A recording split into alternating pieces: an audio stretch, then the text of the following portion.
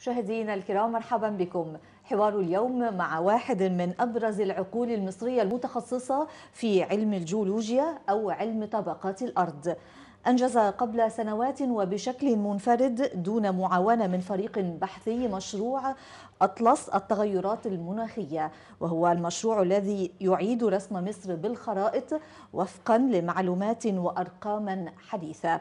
توضح كم المخاطر المتوقع أن يتعرض لها محافظات ومدن مصرية في الدلتا بالغرق بسبب تغيرات الطبيعة. كان السبب فيها زيادة انبعاثات الكربون وهي الحقبة التي اكتشفها عالمنا بنفسه. وعرفها العالم من خلاله لتكرمه الأمم المتحدة ويصبح نائبا لرئيس الفريق الجيولوجي العالمي التابع للمنظمة الدولية. ثم يعود عالمنا ويعلن عن كشف علمي جديد. عبارة عن نهر مائي جديد يأتي من النيجر وتشاد مرورا بليبيا.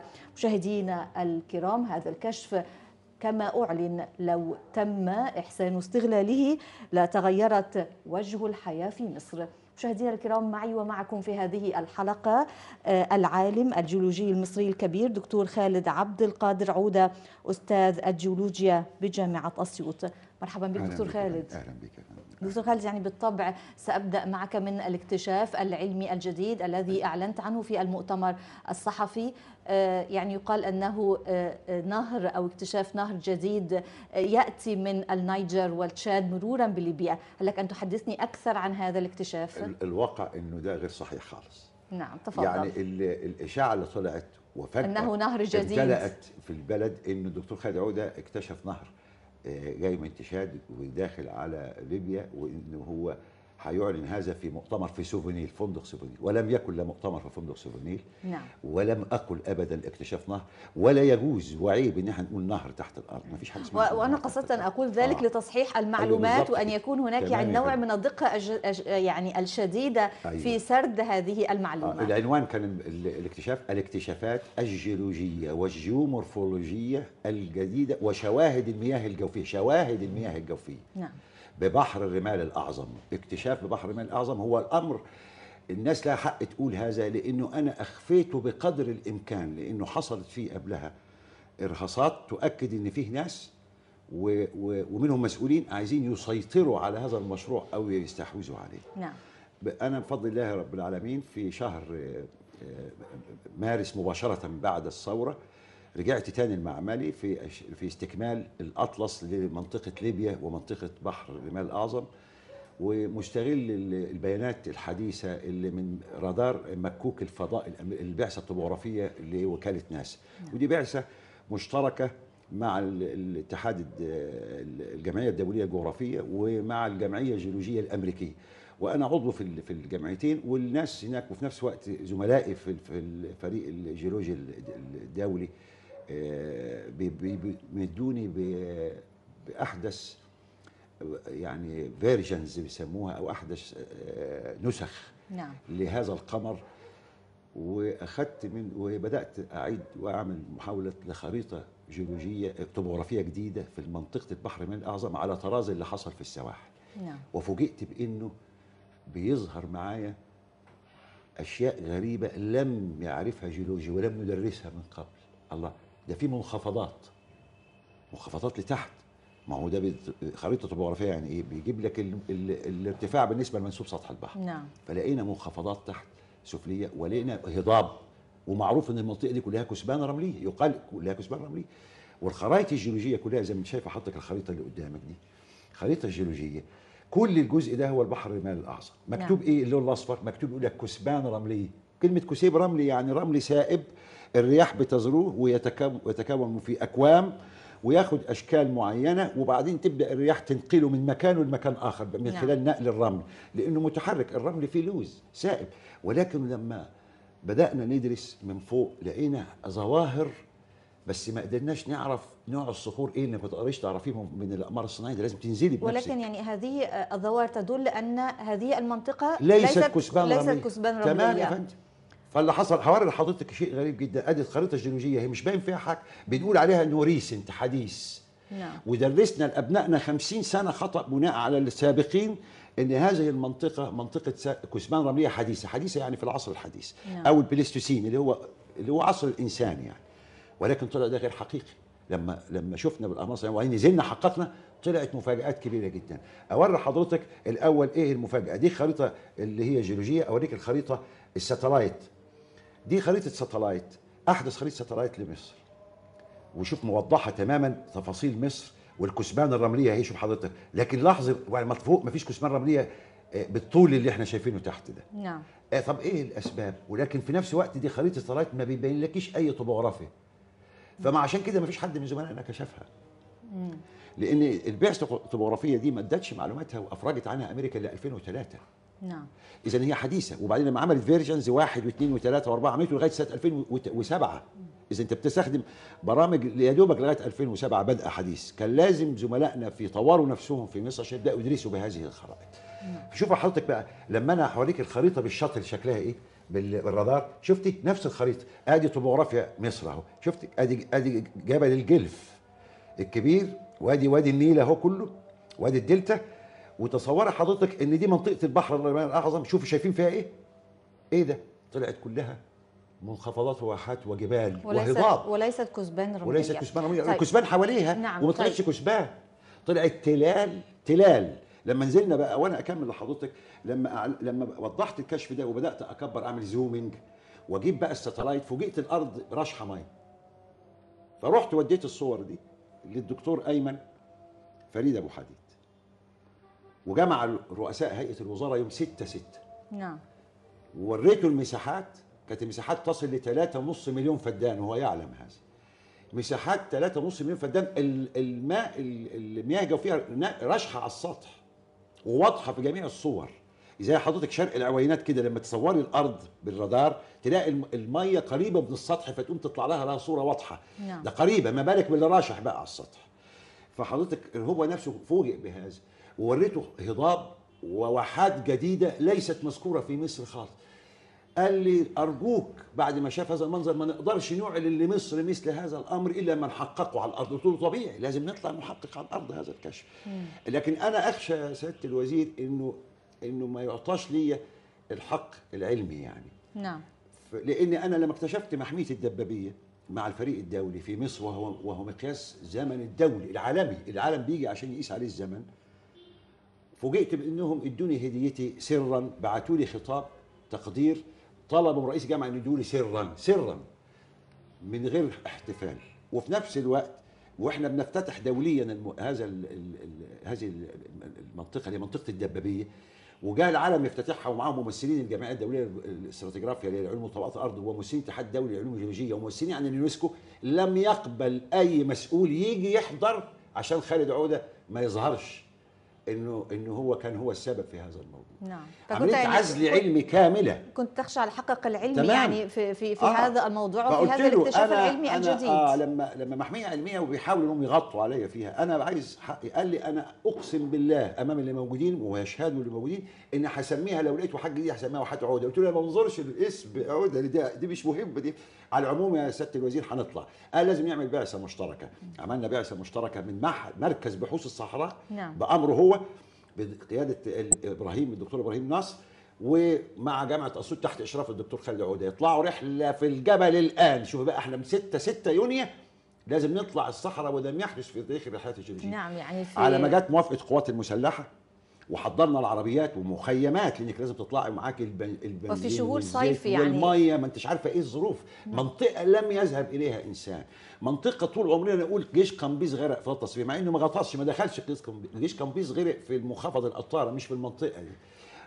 المنطقة يقولوا له يدخل ما يطلعش ده الرمال متحركة إحنا برضو خايفين. طيب. بنشوف بال- هل معنى ذلك أن شيء أن شيء تغير بعد الثورة؟ أيوة. يعني من هذه الحكايات أنا و- هكمل حضرتك أنا شعرت طبعا فوجئت بأنه ايمن فريد أبو حديد معاه مقومات الثورة الجديدة خالص. وبعدين على ما خ... رحنا وطلعنا 15 شخص من جميع التخصصات. ولكن اسم إحنا اسمح لي دكتور آه. خالد يعني بعد بعد كل هذا أنت الذي أعلنت عن هذا الاكتشاف وليست الحكومة المصرية. معلش أنا يهمني إن أنا بهديه لمصر بس يعمل المؤتمر الصحفي ويقول ان هو فلان اللي اكتشفه مفيش أكتر من هذا. دول آه يعني أقول لحضرتك حرموا كل العلميين من الأوسمة وقصروها على رجال أهل الثقة اللي هم انت عارف الحكومات العسكرية والديكتاتورية. لا تحظى ولا تجمع حولها إلا أهل الثقة. نعم. ما أنا ما بشتمش في معاهم. يعني ما بقولش إنهم وحشين. علميين أهل ثقة وليسوا أهل خبرة. فلم يعد تطمئني إلى إنه الخبراء موجودين بالفعل في هذا المكان. أهل الثقة دايما في الحكومات الدكتاتورية والعسكرية يحاولوا يرضوا الحكومات. فأصبح في مسألة من مسألة نوع من أنواع النفاق من ناحية وحب التسلط من الحكومة العسكرية أو الدكتاتورية في إنها اللي تقوله يمشي. فأصبح هم كلام الكلام متفق وفي انسجام بينهم. وترك العلم بعيد. ده دليل إيه؟ فشل مشروع توشكا إن مشروع شرق العيوانات المفاجئ إنه بيتعمل كله عشان يزرعوا برسيم حجازي يخلصوا ميه آه، اس- فيها. اسمح لي دكتور خالد يعني في هذه النقطة مع تغير الوزير هل يعني صار أنا شعب- هل صار المشروع للأمام أم, احكي أم لحضرتك حاجة مفاجأة ما تتصورهاش. بعد ما أيمن خرجت البعثة وست أساتذة من التخصصات المختلفة وصورنا نحو ألف صورة وفيديو لكل المناطق وفوجئنا إن الم- إن المياه الجوفية عاملة رشح على الأراضي كلها اللي قلناها مظبوط لكن ال- الرشح ناشف وبيطلع ويغسل التربة وت- قدامك حضرتك واضحة تماما نعم ولكن نفس- هذا يؤكد الاكتشاف العلمي الذي كنت الأراضي. تسعى إليه والذي خرجت أيوة. هذه أيوة. البعثة آه، له ووجدنا واحات جديدة سميناها حوالي لحضرتك الصورة بتاعتها دلوقتي واحات جديدة تماما. بدأنا نطلق عليها الأسماء و- وال- بحق الاكتشاف. وبدأنا نجهز العينات. وجينا 45 يوم بعد الرحلة ندرس ال practical work اللي هو في المعمل. الطبقات علم الطبقات التاريخ الجيولوجي ال- الزمن ال- ال- الخواص المعدنية الخواص المائية.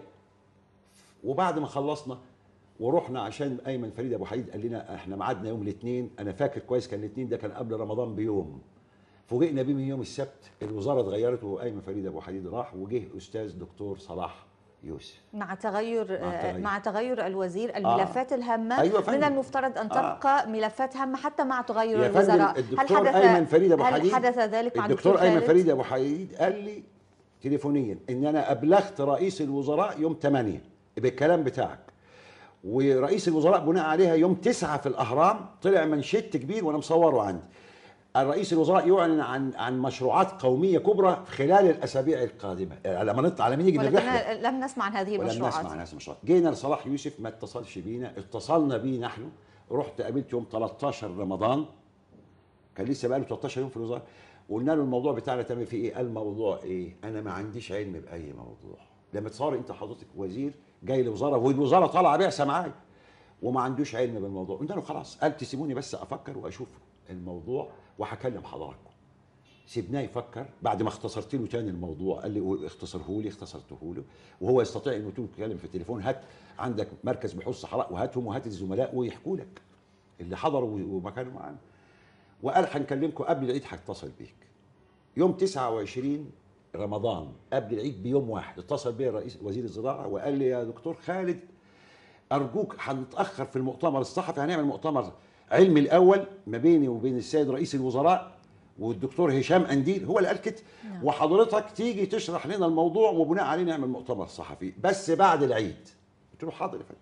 بعد العيد ده أنا ما كنتش أعرف كلمة بعد العيد دي إنها ممتدة. لغاية العيد القادم إن شاء الله. ما أعرفش هل هذا يعني يثير لم- الإحباط في نفس لم يتصل خالد؟ بنا. أمال جدا. وفوجئت بعد كده بقى إن الاهرام بينشر على كلام رئيس.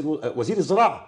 بيقول ثورة زراعية جديدة على مليون فدان وخمسة وخمسين ألف في جنب المنخفض الأطار لا ده بقى محاولة للسطو على على شغل العلماء هل هذا ما دفعك إلى أن تعلن هذا فوراً. آه، آه، في فوراً. مؤتمر صحفي مؤتمر صحفي؟ وأشكر جريدة الأهرام إن هي استقبلت هذا المؤتمر آه، ولكني أنا أخذت على الأهرام إنه طلبوا مني إن هم يست...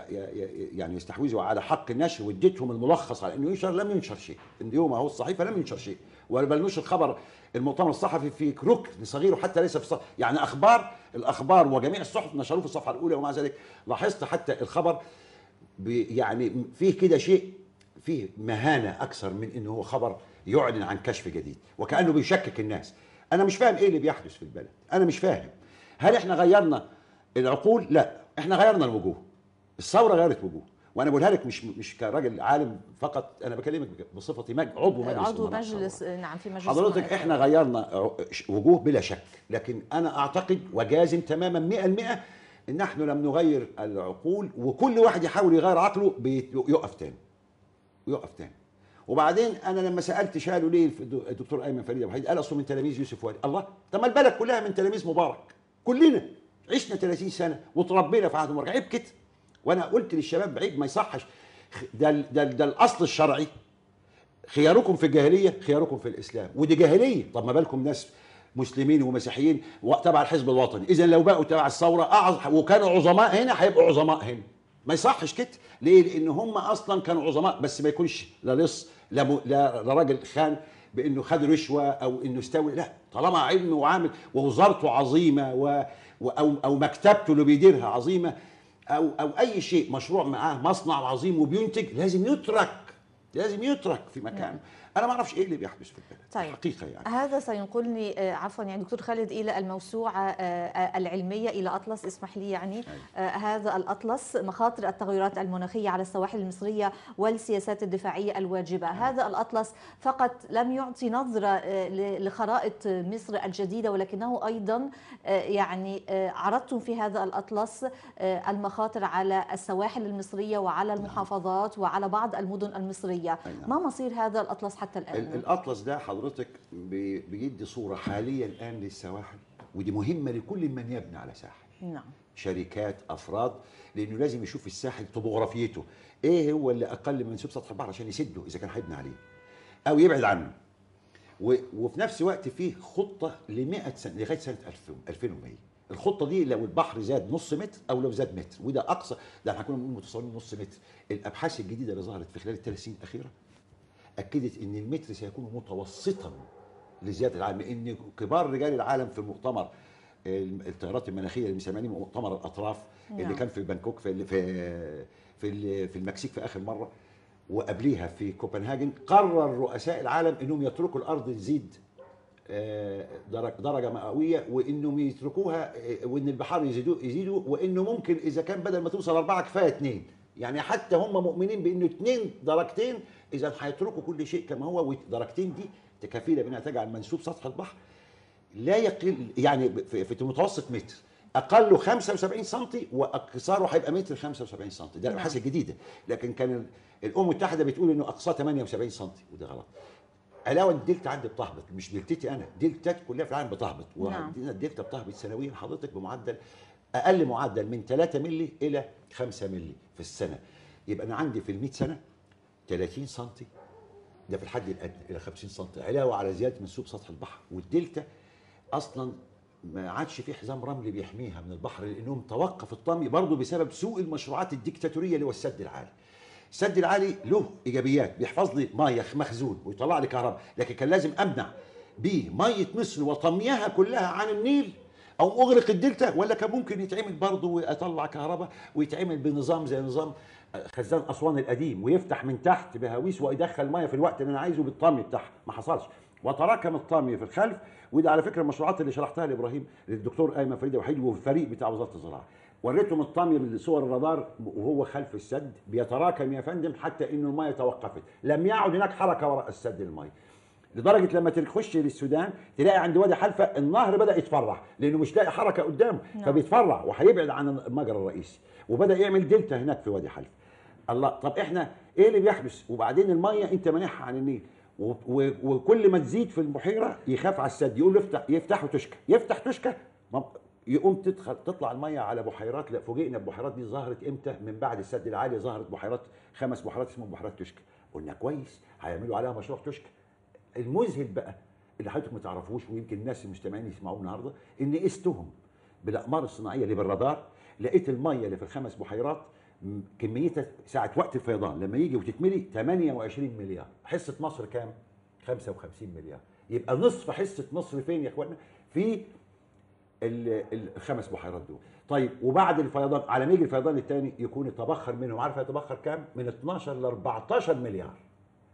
وفي نفس الوقت ما فيش ميه بتدخل النيل. نعم. 25% فقط من ميه الني- ال- ال- النيل بتدخل عن من خلال التوربينات. يدور بها التوربينات ويدخلها ال- النهر. عشان كده لم تعد المياه تتحرك في نهايات الترع ولم يعد هناك حزام رملي على الدلتا. كل التداعيات دي قدمت بمشروع. ووريته برضه فرجته للدكتور أيمن فريد حديد لعمل تحويلة جديدة للنهر تدخل لي التطامي في 75% وتحتفظ ب 25% خلف السد علشان تقدر تنتج كهرباء. ده مهم جدا لمستقبل مصر ان مهما شرحت إن إحنا ليه عملنا الأطلس ده عملته علشان أدي حل للدلتا هو مشروع منخفض القطاره لأن لقيت حلول الدلتا ضخمة وهتكلف حوائط كبيرة جدا. ومهما حطينا من حوائط مش هنمنع ال- seepage اللي هو الرشح وتداخل المياه البحر جوه التربة التحت سطحية. نعم. فحل قلنا الحل إن إحنا هنفتح قناة بين البحر الأبيض وبين طيب. ال- المنخفض اسمعي دكتور خالد يعني ما هي العوائق أمام هذه المشاريع؟ حتى الآن ليس هناك أي قرارات سياسية سيادية آه، يعني تحقق ما آه، تفضلت به في آه، في هذا الإنجاز العظيم الذي يعني عملت عليه لمدة ثلاث سنوات منفردا. أيوه. طيب ما هي العوائق؟ هل العوائق مادية؟ هل أيوة العوائق فكرية. أنا مثلا حضرتك تستعجبي لما يتصل بيا جميع جامعات مصر. إحنا كام جامعة؟ شوف في مصر. شوف الجامعات الحكومية قد إيه؟ 18 والجامعات الخاصة أكتر. أو وصلنا دلوقتي يمكن مش أقل من 25 أقل أقل أو 27 ولا جامعة اشترت غير جامعة خاصة واحدة اللي هي جامعة مصر للتكنولوجيا والعلوم جامعة مصر اللي هو رئيسها محمد رأفت محمود هي اللي اشترت. وجميع الجم... وجميع الجامعات الأخرى لم تشتري منهم اسكندرية القاهرة عين شمس معهمش فلوس. وبيبعتوا لرئيس جامعتنا لأن جامعتنا اللي بتصدر الأطلس مش أنا اللي بصدره وهم اللي مكلفينه من صندوق البحوث وعايزين فلوس تعود لصندوق البحوث. لازم حد يدفع لصندوق البحوث عشان يقدر الجامعة تستغنى عنه مجانا. باعتين ياخدوا نسخ مجانية ورئيس الجامعة ما يقدرش. معهمش يتصلوا بيا وتقول ما عنديش غير نسخ الهدايا يا دوبك بتقدم بيها لأي جايزة أو أي هدايا لل- للاساتذتي الكبار القدام ما فيش غيرهم. 10 نسخ أنا في الهدايا 10 نسخ ما فيش غيرهم. نعم. حضرتك النوادي ال- ال- محافظة آه، آه، في مكتبة في دمنهور مكتبة في دمنهور اشتروا. مكتبة اللي هي المكتبه العامة بتاعت دمنهور اشتروا أطلس نسخة. بقية المكتبات باعتين يقولوا ما عندناش فلوس. الله. طيب دي الجامعات؟ طب المحافظات؟ تصور المحافظات. محافظة كفر الشيخ تشتري نسخة من صندوق القمامة. من ميزانية صندوق القمامة. وقالوا لنا الكلام ده ما عندناش فلوس. محافظة كفر الشيخ نسخة واحدة. وبقية المحافظات ما عندوش. مين اللي يتولى هذا؟ كان مفروض وزارة البيئة اللي بتتلقى أموال من الخارج بغرض إيه؟ بغرض نشر الثقافة البيئية دي من واحد حماية مصر من التغيرات المناخية سواء كانت زيادة بحر أو زيادة درجات حرارة وتنوع محاصيل وتغير المحاصيل نعم. أو تبخر بحيرة السد العالي. كل ده مفروض هي اللي كانت تتولى نشر هذه المعرفة مجانا. طيب ما رئيس الجامعة راح وزير البيئة لرئيس الجامعة وقابله وقال له أنا أنتوا عاملين كام نسخة؟ رئيس الجامعة قال له عاملين 500 نسخة. بعتوا آه بعنا باقي نسخ قال طيب خلي الدكتور خالد يجي لي ويجيب نسخة وإحنا هنفكر في الموضوع ده. من ده إمتى الكلام ده؟ قبل الثورة. والله من قبل الثورة لغاية الآن أتصل بيه يقولوا مش موجود. هنكلمه. ده وزير البيئة. هنتصل بيه. ولأنه ما زال موجود. وده العقلية الوحيدة اللي تجمع بين ما قبل الثورة وبعد الثورة. هل هو ما زال؟ هل تتوقع العقلية دي إنها تتغير؟ ولا تفضل على ما كانت عليه ما هو كان عليه. أنا تصورت هيبقى في تغير بعد الثوره مفيش مفيش ميزانيات في بحوث في البلد. البلد حضرتك البحث العلمي ينفق عليه 2 2 من 10 في المية. وإسرائيل من الدخل القومي. وإسرائيل 3.5% من الدخل القومي. والعالم كله متفق دكتور- 3% دكتور خالد يعني هل فقط العائق المادي أم أن يعني كما قلت العقول لم تتغير؟ ما هو- الإرادة السياسية غير موجودة. استراتيجيات الوطن دي يعني بالتأكيد. اولا ما زال البحث العلمي يسيطر عليه مش هقول الفلول لأن عيب عيب الفلول ديت في السياسة. بيسيطر عليه العقول نفسها القديمة أهل الثقة. اسمح لي فلنجعل هذا يعني الحديث سياسة آه، وعلم آه، أيضا أهل يعني. الثقة. أهل الثقة بتوع مين؟ بتوع مبارك. كل رؤساء الجامعات كانوا تعيين مبارك. وكل نواب رؤساء الجامعات من تعيين بقرار جمهوري يبقى من تعيين مبارك. ويجي رئيس الج- الجامعة يعين مديله سلطة يعين كل العمداء. خلي بالك القانون ما كانش كده القانون كان بالانتخاب. زمان غيروه لصالحه يعين كل العمداء فأصبح العميد أصغر واحد. والعميد يختار وكلاءه ورئيس الجامعة يوافق له على هذا. يبقى أصبح شبكة عنكبوتية من الحزب الوطني تملأ جامعات مصر. نعم. طيب أنت منتظره يبقى في تقدم في الجامعات؟ لما بيجي لما يجي على أستاذ أحدث مني 10 سنين وياخده أكيد عمليه كلية. ويتخطاني. ده أنا مش تخطاني. ده جميع الأساتذة المعارضين تصوري يتخطونهم حتى في إنهم يمتحنوا يمتحنوا ال- الدرجات الأستاذية إحنا عندنا لجان قومية اللي بتمتح هذه لجان الترقية يحرموا الأساتذة الم- المعارضين اللي اللي اللي صبغتهم تختلف عنهم اللي ما بيوافقوهمش يحرموهم من اللجان دي علشان يمشوا الترقيات بمزاجهم. أصبح كده. لازم الناس تعرف كده. دكتور خالد بعد الثورة هل أحسست أن هناك تغيير مفيش، أم كما أم هم. أم أننا نحتاج إلى تغييرات آه، جذرية. سياسية جذرية؟ يعني حضرتك للتحول بالبحث العلمي. في مصر. في مجالس قومية متخصصة في مصر. تصوري بقى لما يرقصها كمال الشاذلي. رحمه الله رحمة واسعة. طب إيه ده كمال الشاذلي ده في العلم؟ اللي المفروض أكبر علماء مصر. وهنا الم- المجالس المتخصصة ما تفيهاش هنا جنسية. إنك لازم تقول ده مصري أو ده مش عارف ديانة. ابدا. ده المجالس المقومه المتخصصة دول بمثابة بمثابة مستشارين لك يجب إن يكونوا من كل ال... أي شخص. دون اعتبار لا لاتجاهه السياسي ولا لونه ولا دينه ولا آه، لغته ولا حتى عارفه لو مصري ومعاه 10 جنسيات اخده مدام مصر. نعم. لأنه بيديني خبرة. بينا بيديني خبرة. مجالس القوميه المتخصصه كانوا يعينوا رؤساء هي فيها أفراد كويسين بلا شك. لكن الرئاسة بتاعتهم لازم يبقوا أعضاء يا إما لجنة سياسات يا إما أعضاء في الحزب الوطني واللي يقولوا الحاكم واللي يقولوا رئيس الجمهورية أو رئيس الوزراء هو اللي اللي يتعمل نعم. أنا فوجئت إنه المجلس القومي للعلوم الجيولوجيه علوم البيئة استدعوني الحقيقة وشرحت قدامهم التغيرات المناخيه وما كانش عندهم علم بالاطلس إنه صدر اللي المفروض هذا المجلس مش هقول لك كان هو اللي يوجه الجامعات لإصدار هذا الاطلس نعم. فإذا عايز أرجع ما أقول إنه إذا لم يتغير مش بس ميزانية البحث العلمي يتغير الأمر في مصر لكي يكون الرجل الصالح هو في المكان الصالح لن لن يكون هناك تقدم علمي لن يكون هناك تقدم علمي. لابد من إعادة نظر في المجالس القومية المتخصصة لابد من إعادة نظر في شروط الترقي للزملاء لأن من شروط الترقي يقول لك تعمل البحث عدد معين من البحوث. إذا ما عملتوش ما تترقاش. ف- ومده معينة فحضرتك طبعا بتضطر تشتغل من كل بستان زهرة وما تقدرش تشتغل بحث علمي لوحدك. لازم يتعاون مع ده أتعاون مع ده في تخصص يكون ده في تخصص غير التخصص تلاقي البحوث طالعة بغرض الترقية مش بغرض البحث العلمي. أعظم بحث علمي تاخديه من أساتذة الجامعات بعد الاستاذيه بعد ما يكون اترقى آخر درجة نعم. يبقى يصبح قدامه البحث لمجرد البحث. وأنا عشقت البحث ده من صغري وأنا بعشق البحث. أنا شغال في بحث علمي على طول. حضرتك أنا طلعت امبارح 3.5 مليون فدان وكنت أتمنى أوري حضرتك الصورة اللي هي بتاعه تفضل. ال- ال- الأول ال- أهي البحات أهي الصورة أهي.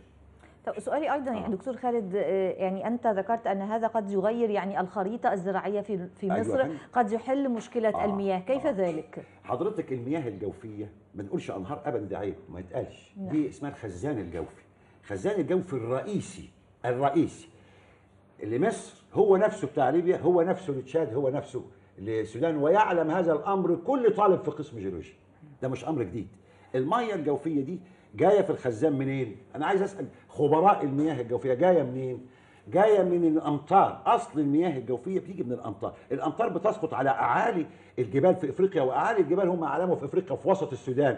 وفي موجودة كلها من ال basement complex اللي هي عليها الصخور القاعدة التي لا تشرب ماء. نعم. بيسقط عليها المطر. إيه اللي راكب على هذه الصخور؟ أول صخور رسوبية تشرب الميه بترقد تماما على الصخور القاريه القاعدة دي اللي هي مصمطة هي صخر الحجر الرمل النوبي فالمطر أول ما ينزل على هذه الجبال أول أول صخر يشربه هو الخزان الجوفي الحجر الرمل النوبي لما يشرب المية تتجه وعشان كده قالوا بقى نهر. مجاز كلمة النهر دي مجاز. لأن الحجر الرمل النوبي اولا سمك كبير من الرمل تحت الأرض لكنه مش كله غني. عشان تبقى عارفه حضرتك في طبقات محددة غنية فيه جدا بيسموها طبقات صبايا وطبقات سكس هيل. أحسن طبقات غنية بالماء في هذا التتابع. المية دي تيجي من من من السودان تدخل مصر ما بين جبل ال- العوينات وصفصف. تدخل تحت الأرض. وجبل وتدخل من تشاد على ليبيا تحت الأرض. وتدخل على ليبيا ومن ليبيا على مصر تدخل. الكلام ده مش كلام عشان يبقوا عارفين الناس ده كلام كل الباحثين العلميين الكبار اللي اشتغلوا في مشروعات المياه الجوفية وخاصة مشروع الأخير بتاع ال- ال- النوبيان sandstone project ده مشروع ضخم جدا واتفق عليه يعني ما فيش فيه جدل. طب إمتى الميه تبقى مش متجددة؟ عندنا في الخارجه مش متجددة لأن الزملاء مش واخدين بالهم إن في فالق ضخم في الخردقة وجيولوجية الخردقة. البحر هجم عليها. البحر الأبيض هجم يا اخوانا على شمال مصر ونزل من شمال مصر وصل لغاية غرب أسوان غرب أسوان فغطى الخارجه وجزء من الداخله كله متغطي لغاية أبو منقار وغطى الفرافرة وغطى البحرية. فهذه التغطية بعد ما اتغطت برواسب حصل ثقل على الأرض. الثقل حصل معاها شروخ. الشروخ دي خلت مية حجزت مية في مكان وما حجزتوش في مكان آخر. فإذا ما تتوقعش إنما الله. طب والباقي فيه؟ آه. بحر الرمال الأعظم ليس فيه شروخ ولا فيه طبقات من فوق. إزاي؟ لقينا الحجر الرملي النوبي هو اللي على السطح زي شرق العوينات. شوف حضرتك أنا هوريك الأول المنخفضات أهو. أول أدي الفرافرة اللي هي الواحه القديمة الفرافرة. وادي نعم. أبو منقار. وادي هضبة بنسميها هضبة قص أبو سعيد. معروفة في الفرافرة. طلعنا عش... في هذا الكهف بحر الرمال الأعظم هو ده. شوف حضرتك الشكل شكله إيه؟ لقينا الفرافرة الجديدة واحة جديدة موجودة هنا جنب الفرافرة لقينا منخفض التحرير. شوف مساحة دي 932 كيلو متر مربع ومنخفض التحرير 647 كيلو متر مربع. ولقينا منخفضات سميناها منخفضات واحات الثورة آه، عبارة عن آه، 795 كيلو متر مربع. وبعدين منخفض عبد القادر عوده أنا أطلقنا عليه اسم من وزير الزراعة السابق لأنه هو اللي نعم. تعهد بهذا فأنا ما رضيتش يبقى منخفض عودة. لأن يعني آه، إحنا ما, ما, نمثلش في آلة عودة حاجة جنب الشهيد عبد القادر المستشار عبد القادر عودة اللي أعدمه جمال عبد الناصر ظلما وعدوانا في 54 لقيادته مظاهرات مارس ما فيش نعم. أكتر من كده فسميناها تخليدا لذكرها لأن إحنا من حقنا كمكتشفين إن إحنا نسمي زي ما إحنا عايزين نعم. والاكتشاف ده لعلم حضراتكم وللحكومة إنه بيتم تسجيله في الخارج ومهما غيروا سيبقى في الخارج هو الأساس في هذا التاسيس وبعدين تحت منخفض الشهداء 1311 كيلو هنا 1666 لقينا هضبة اسمها هضبة البركة كلها مستوية لأنها أول مرة في مصر ده من الاكتشافات نجد هضاب من الحجر الرملي النوبي ونجد واحات من الحجر الرملي النوبي نعم. الاثنين مع بعض. طيب دكتور خالد يعني اكتشافات جديدة اكتشافات قيمة جدا كيف يمكن تحويل هذه الاكتشافات إلى واقع آه، عملي ملموس على آه، على إحنا الأرض؟ أول شيء اللي بنقدر دورنا خلص في ان أثبتنا رشح المياه الجوفية وأثبتنا في وجود نهرين سطحيين بقى مش الكلام اللي تحت. نهرين سطحيين سابقين. نهر جاي من الكفرة داخل مصر ونهر طالع من الجلف الكبير لفوق وبيلتقوا الاثنين مع بعض. بيلتقوا عند فين؟ عند آه، بحر الرمال الاعظم نعم. هذه المياه الأنهار كانت ماشية على إيه؟ ماشية على الحجر الرملي النوبي اللي هو صبايا formation بنقول عليه تكوين صبايا. شربته المياه كله. إذا منطقة بحر الرمال الأعظم أصبح فيها مياه جوفية جاية زي ما قلت لحضرتك منسابه من تشاد لليبيا وداخلة ومن السودان داخلة ما بين بير صفصف وجبل العوينات وداخلة لغاية فوق إلى علاوة على أنهار سطحية هوري حضرتك صورة الأنهار السطحية ويمكن ما تصدقهاش. أدي الصورة دي. بص شوف حضرتك. الدكتور فاروق الباز عالم عظيم جدا وأنا بأقر شغل واحبه شوفي هو اللي عمل الجزء السفلي ده. نهر الكفرة هو اللي حدد نهر الكفرة دخل وبيلتقي هنا. وهنا عملوا مزارع ضخمة جدا من المياه الجوفية اسمها مزارع الكفرة فالله سبحانه وتعالى هداني رحت أنا فوجئت باني استكملت النهر. لقيت فرع بعد كده بقى فرع. شفت حضرتك؟ استكملت النهر لغاية فوق. فوجئت نعم. بنهرين. نهر طالع من الجلف الكبير أهو ويدخل فروعه لليبيا ونهر الاساسي الليبي يدخل فرع منه لمصر. شوفي يبقى هما بيدونا من ناحية وإحنا بنديهم من ناحية. دي إيه أنهار سطحية مش أنهار باطنية. نعم. هذه الأنهار السطحية بتعرفيها إزاي؟ من خطوط ال- الصرف. خطوط الصرف دي اللي هي ده بالزينه بالسيول. والسيول دايما تلاقيها متشابكة لل- للسادة خبراء المياه الجوفية اللي بيتكلموا على إنه دي سيول. السيول تبقى متشابكة في لما تترك أثر وديانة تبقى متشابكة وقصيرة. بنسميها أنهار مؤقتة لازم يعرفوا جيولوجيا. وبعدين دول هذه السيول تتجمع في فرع كبير. الفرع الكبير هو ده اللي يبقى النهر. هذا النهر بينشف لأن مفيش مطر. المطر كان في هذه المنطقة العلم حضرتك لغاية 14000 سنة. نعم. لأن إحنا حاسبينها بالتاريخ ال- بال- بالكربون المشع. 14000 سنة وكان تاريخ آخر دورة جليدية في العالم. العالم كان كله تلج. نعم. وكانت الأمطار في المنطقة دي مليانة. بعد كده بدأت من 14 ل 8 8000 سنة المطر يقل في رويدا رويدا لغاية من 8000 سنة بقى شحيح جدا لغاية الآن. طيب. النهارده لو نزل مطر جديد على الجلف جديد دي هضبة الجلف لازم ينساب ويطلع وبرضه هنا. لكن أنا ما بعتمدش عليه في إنه ينشأ من جديد. أنا بقول المياه اللي كانت موجودة راحت فين؟ شربتها الأرض والأرض لأنها هي الخزان الجوفي علاوة على اللي بيجي من إيه؟ زي ما قلنا من الجنوب. اذا عندي مياه ورشحت على السطح أنا حواري بقى حضرتك صور الرشح على السطح وهذه دلالات يعني عكس ما كان يعني آه، يدرس علشان سابقا وعكس ما كان آه. ما كان متعارف عليه اولا سابقا. اولا واحد بوري لحضرتك الصورة دي. شفت الصورة دي؟ دلتا ليبيا اللي هي بفضل الله رسمتها بالأقمار الصناعيه شوف الدلتا قد إيه؟ الليبية في شرق ليبيا وادي النهر بتاعهم أهو. شوف نعم. حضرتك الفرع الرئيسي. الدلتا دي شوف جزء منها فين؟ أدي الحدود المصرية الليبيه أهو. الجزء الشرقي كله هو ده اللي سميناه سهل النهضة. أعظم سهل هنا مسطح والميه ناشعه فيه ابقى على السطح. وكله وديان. ليه؟ لأنه جايب جاي من الدلتا القديمة متخزنة تحت. طب اسمح لي يعني دكتور خالد يعني آه، هذه الاكتشافات العلمية العظيمة ليس فقط يعني تدل على التغيرات المناخية ولكن تدل على فساد آه، إداري ممنهج في العصر أمال. السابق. لا لا لا طبعا. سؤالي الأخير لك يعني هل أنت متفائل في الفترة المقبلة أن يكون هناك تغير لاستراتيجيات الوطن حتى آه، يكون هناك استفادة من تلك الاكتشافات العلمية العظيمة؟ أنا متفائل لأنه أعلم يقينا أن الله هو صاحب الثورة، أصل أنا كنت معاصر في ميدان التحرير. وشفنا مع الدكتور صفوت حجازي آيات. الثورة الذي صنعها هو الله عز وجل. لأن ياما طلعوا كفاية وياما طلعوا الإخوان وياما طلعوا ال ال 6 إبريل ولم يحققوا شيء، سنوات مش سنة. ولما أذن الله سبحانه وتعالى القلوب هو الوحيد اللي قادر على جمع القلوب. نزل الناس من الشوارع عشان تمشي في المظاهره بقينا نشوف ناس ما شفناهمش في حياتنا في الميدان. اذا الله سبحانه وتعالى هو اللي كان السبب إن بعد الثورة افاجئ في الصعيد إنه يفرجوني المحافظة على تلال الغلال. أنا أول مرة أشوف المناطق اللي هي اللي آه، بيحفظوا فيها الغلال. فوجئنا إنه ال- الأرض الزراعيه في مصر أعطت 24 ل 26 إرداب بقمح اللي كانت عمرها لا تتجاوز من 12 ل 14 إرداب، مين اللي يديك هذا في مصر كلها؟ مين اللي يوفر لك تلتين القمح الرئيسي بتاع هذا العام؟ بس لعل في الصوب يعني يحفظوها من السوس ويحفظوها من من الطيور ومن اللصوص اللي بيجي وقت البلطجيه.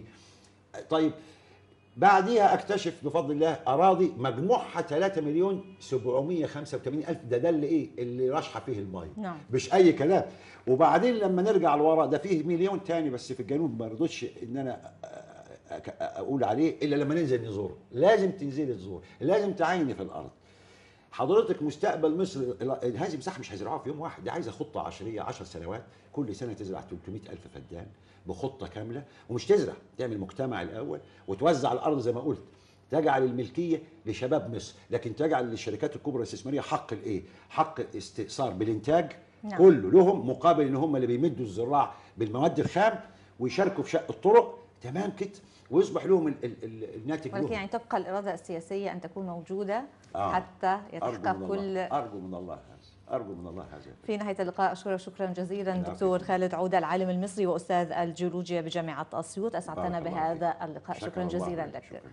مشاهدينا الكرام نهاية اللقاء في رعاية الله.